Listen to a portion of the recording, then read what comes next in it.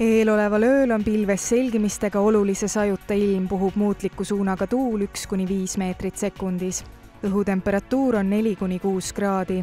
homme päeval on pilves selgimistega ilm, aeg-ajalt sajab vihma, puhub loode ja põhjatuul kolm kuni kaheksa meetrit sekundis. õhutemperatuur on kaheksa kuni üheksa kraadi ööl vastu neljapäeva on pilves selgimistega ilm, võib veidi vihma sadada ja on udu.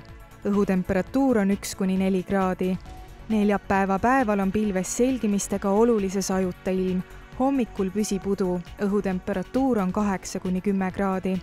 reede öösel pilvisus tiheneb ja sajab vihma. õhutemperatuur on viis kuni kaheksa kraadi, reede päeval on pilves selgimistega ilm ning võib vihma sadada. õhutemperatuur on kümme kuni üksteist kraadi